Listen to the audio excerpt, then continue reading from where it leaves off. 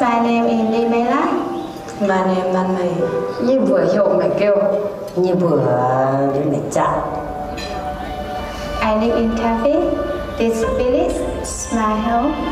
People coming to here, they're looking for my local people, the Reza people.